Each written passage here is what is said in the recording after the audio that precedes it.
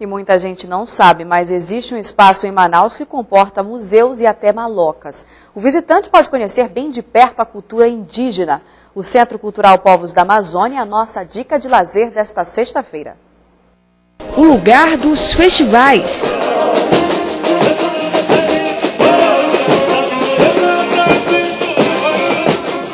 Dos esportes e também do conhecimento amazônico.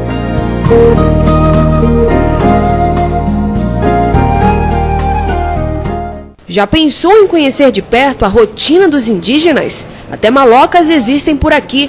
Miguel, indígena da tribo Dessano e guia do museu, fala do significado de cada objeto usado nas aldeias. Como que ele caçava, como que eles pescavam, o que, que eles faziam dentro da maloca.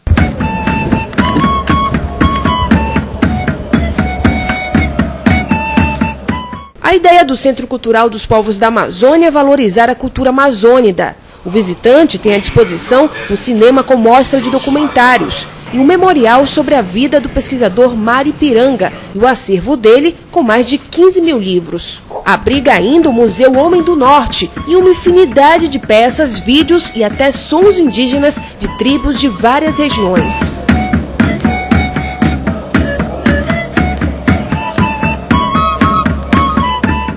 Arqueologia com um formato diferente.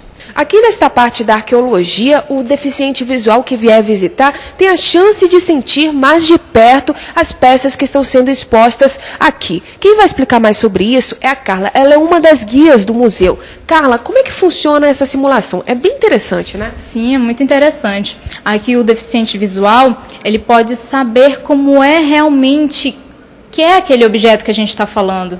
Então, foi esse o diferencial que o Museu do Homem do Norte resolveu pôr.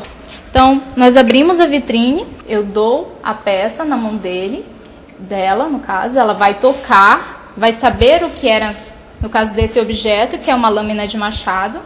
A gente pede que ela levante, mostra o amolador e vamos fazer a primeira simulação.